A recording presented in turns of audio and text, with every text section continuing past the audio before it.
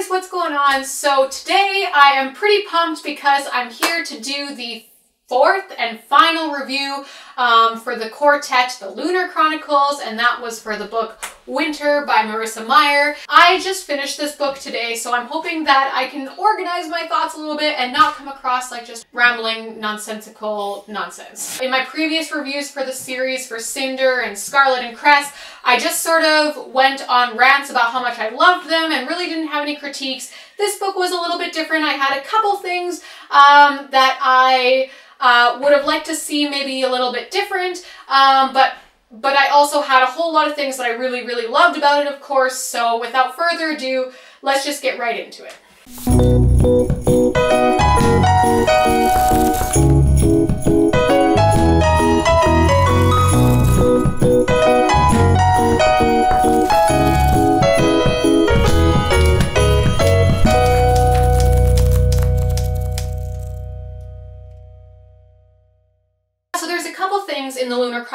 I consistently like seeing from Marissa Meyer. The first one is just how amazing and natural she is at um, adapting all of the fairy tales, not only in their own individual stories, but she brings all of these fairy tales together and has created the seamless, flawless adaptation and a brand new take on all these fairy tales and she just made them fit together so perfectly. There was no point in any of the novels and not in Winter either where I was thinking like this is a bit of a stretch. One of my favorite things about the Lunar Chronicles is just reading them and seeing all of these all of these moments to develop where I can point to the original fairy tale and be like, yes, that's awesome. That's an awesome take on it.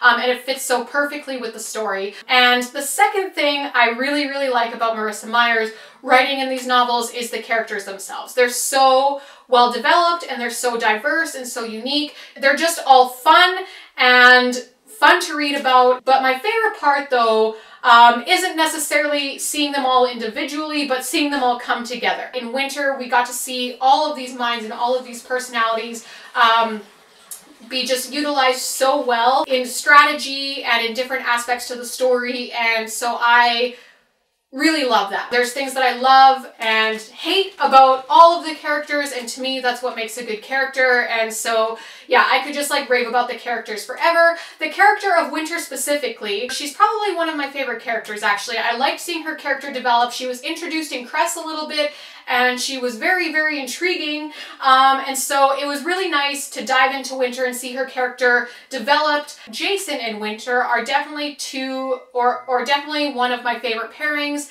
in the series. They're just wonderful. They're just wonderful. And I love Jacin because he's just like so supportive and understanding of Winter.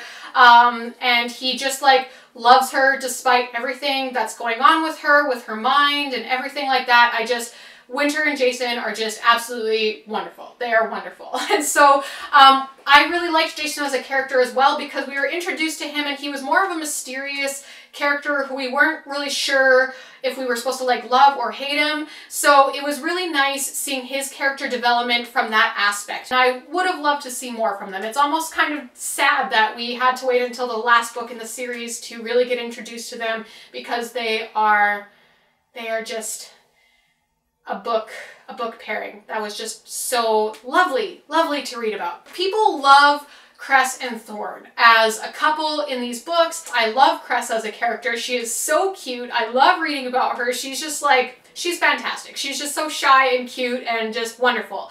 Um, my beef is with Thorne because here's the thing.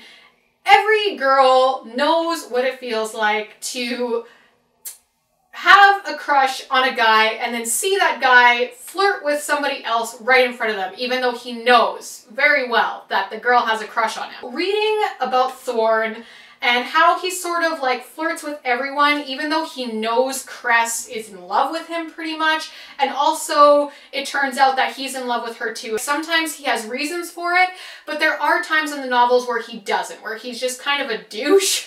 And uh, so those are the moments that I definitely don't appreciate about Thorne. There are moments in the books where I'm just like, dude, this character's kind of a jerk. Sometimes I just don't even think that it's really forgivable. Like Thorne to me is just kind of like he needs to grow up a bit before he confesses his love to this girl who he's hurt on numerous occasions by just kind of being a player and a jerk. So I don't know. I, I think I'm not a, as huge of a fan as Cress and Thorne's relationship as a lot of other people are. And you guys can definitely give your give me your opinions on that. Just throw me a comment down below. Are any of you in agreement with me or am I just out on my own here? Because I don't know. Like, I'm just not as huge a fan of Thorne when it comes to like the romantic side of things as a lot of other people are. I do, however, still like him as a character because he's funny and he's witty and he's sarcastic and he does, just doesn't care. So he brings a lot to the table when it comes to the novels, but I just don't appreciate him in the romantic role. So I don't know. You can give me your thoughts about that. I think as a finale, Winter didn't meet my expectations as much as I wanted it to. Um, I think Part of the problem was that I just left too much time between reading the other books in the series and jumping into winter. I kind of had to reorient my, myself with the characters and with the scenarios and the circumstances, just trying to get my mind back and remembering everything. I think uh, disconnected me with what was happening for the first quarter of the book a little bit, um, but that wasn't Marissa Meyer's fault. I felt like for a finale novel, especially when it comes to a revolution, I felt like things just went a little bit too fast. I would have liked to see a little bit more strategy development with the team and with the crew. Um, we sort of just saw them come to Luna. We didn't see a lot of the development of the strategy before they just kind of jumped right into it and the revolution to me, it just seems like came up out of nowhere. And my main concern with that is with Luna especially, we're dealing with people who were like highly brainwashed and they were under a lot of manipulation. And so I just am not convinced that a revolution would happen as fast as Marissa Meyer put forward in this book. So I, I realize the book is already over 800 pages, so developing it more maybe would have made the book like way too long or something. But yeah, it definitely just had like a rushed feeling to it.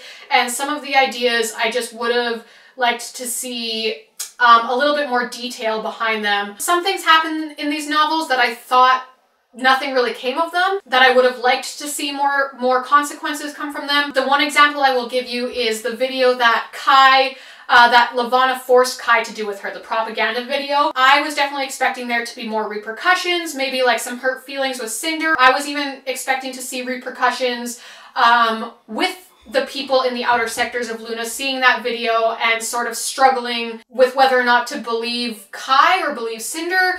But in the end, that video was like hardly mentioned again. It was sort of like it just happened and I think it was more so just a tool to show kind of what a jerk Levana was. One other thing I would have loved to see developed uh, and utilized a little bit more was the idea behind the device that gives Earthens the ability to not be controlled by Lunars. There were points directly where, where Marissa Myers said that Cinder thought it would be a good tool to use against Levana to take her down, and then it just wasn't brought up again. I thought that was a really good direction that she was going with. That didn't have to be the only tool in the revolution, and it should have been, but I thought it could have been a bigger tool, but instead it was sort of an afterthought, and it was left until pretty much the ending credits of the book to uh, to address. And I think this is more a personal opinion than anything, but I personally would have liked to see more development with that and more, more of a utilization of that um, in the overthrowing of Levana and her empire. Because um, it was it was really an interesting concept and it was like a huge deal in the first books and the second books like just this discussion of what is this device in Cinder's head and um, yeah I just felt like she really did nothing with it. Honestly, overall, I still gave this book a four and a half out of five stars. I just love the writing of Marissa Meyer. She's easy to read. She, her characters are easy to connect with. It's easy to get behind the main characters and hope for them. They might not be um, like the most suspenseful because you sort of see everything coming, but I don't think that's necessarily the point of the books either. These books are just an easy, fun read, and I really loved this series. If you guys have read this book and you have thoughts on it, let me know in the comments down below. Give me a shout out on Twitter. I'd love to hear your thoughts on it. I'm definitely always open to discussion. Thank you so much for watching this little review of my opinions on the book, and we will catch you next time. Bye. Listening to this book on audiobook, and again, it's one of those books I almost wish that I was reading on hard copy, but I'm following it pretty well, and I am loving it so far. Charming, but also very laid back and normal. Like he was a normal human being, a normal guy. And I really liked that. When it came to the part where